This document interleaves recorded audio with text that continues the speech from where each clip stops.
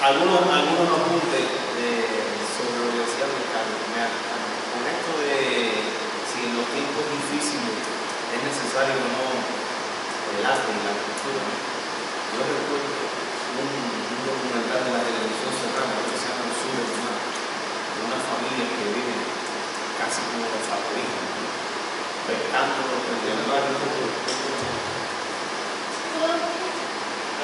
pescando eh, comen el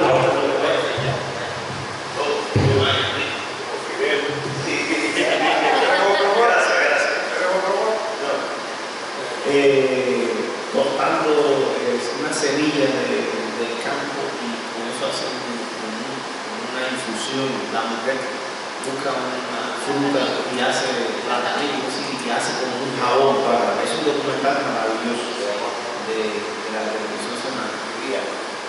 Eh, pero el, el, el, muchacho, no el hombre de la casa tiene, lo hicimos todos los vivimos en el monte, buscamos eh, de ciertos árboles, unas resinas, se pegan en, un, en, una, en una rama y el ave que se posa ahí se queda pegada. ¿no?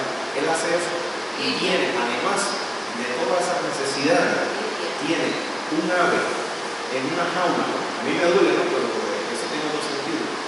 Que es el símbolo de la belleza de ese documental. Además de esa, de esa condición elemental de vivir con las cuestiones que le da la naturaleza, tiene eh, un, un ápice de mirar que necesita esa belleza. Y necesariamente los tiempos difíciles han demandado de que las personas asuman que si no son que, que no son cuestiones para adornar, sino son esencias de las artes y la cultura y sobre todo la belleza que hay en la vida, es lo que va a marcar la diferencia en lo que. Bueno, el, el tema que me traigo está escrito desde consumo cultural, pero eh, ya les voy a revelar que no solamente vamos a hablar de consumo cultural, vamos a hablar de relaciones de poder, de sistemas de dominación múltiples de nuestras propias prácticas, de las que estamos eh, en la cotidianidad. Ahora mismo, en la cafetería que está a 500 metros por aquí, está la- hay una empresa multinacional ahí de, de- difundiendo el trap, la mitad, ahí al final. Que quieren saber cuál es lo que hay ir al final. Si pasan los cristales en la cafetería, que es- de gracia se llama la de Majagua, hay otro, de música poniendo trap también en, en un lugar, en un hotel que se llama Sierra Maestra. Esos son nuestras partes.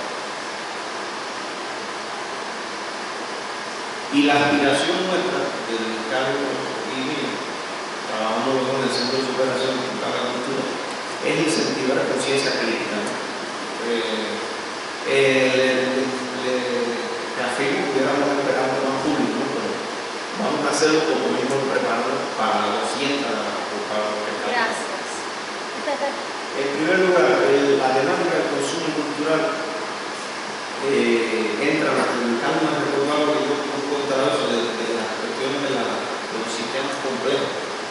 No podemos enfocar una, un- una temática, esta es una, ¿no? hay otras no, sin saber que la vida es compleja. Las relaciones humanas son complejas.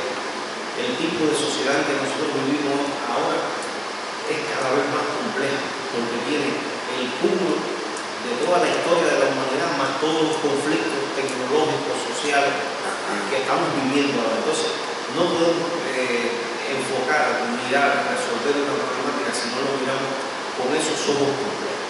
Entonces, para poder hablar del consumo cultural hay que buscar otros elementos teóricos que no solamente son de la cultura, son de la economía, política, de la filosofía, para saber entonces a qué va nuestra conciencia crítica, dónde va nuestra conciencia crítica.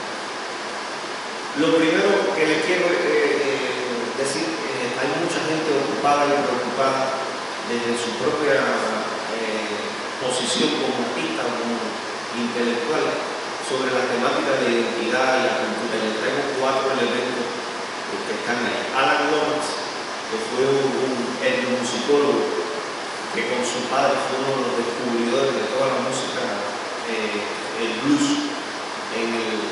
del Mississippi, además por, un proyecto del gobierno de Estados Unidos, la Biblioteca del Congreso, después de haber conocido todo, toda la riqueza musical y cultural de, todo ese complejo musical y cultural, en uno de sus textos escribió, cuando el mundo entero se arruga de música automatizada de clips difundidos en masa, nuestros descendientes nos despreciarán por haber destruido lo mejor de nuestra cultura.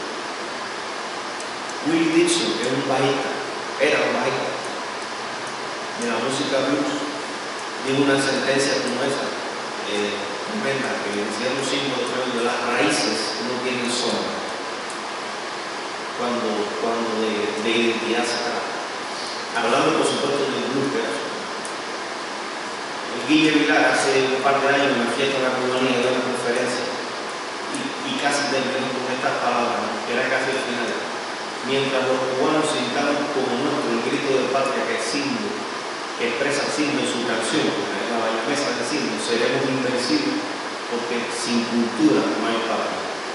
Y termino con, con un, una reflexión de Roberto Martínez que dice, es una reflexión cantada, por supuesto, no la voy a cantar mi identidad ni la vendo ni la presto ni regalo, me acompañará por siempre a donde quiera que vaya y hasta después de la muerte seguiré siendo cubano y eso que asumo y proclamo cariño. El tema del, consumo cultural ha sido investigado desde ciertos puntos de vista desde hace muchísimos años, desde muchísima ciencia los pensadores de la filosofía, la sociología, la política, se han acercado a cómo luego se ha relacionado el con la cultura y cómo eso le ha servido para poder eh, desarrollarse como humano en la sociedad. Un ejemplo es eh, que es eh, norteamericano, en Palo Alto, California. Define el consumo, nuestro que hablaba del cargo, de que el consumo nos, nos singulariza o nos da relación de, de ser social, nos da un rol de grupo. Eh, hay un texto de él que, se dice la, teoría de la clase ociosa y la teoría de la, de la empresa económica. Bueno, debido al consumo ostentoso, primeramente se veía que las artes estaban asociadas a la posición social, a la, a de clase.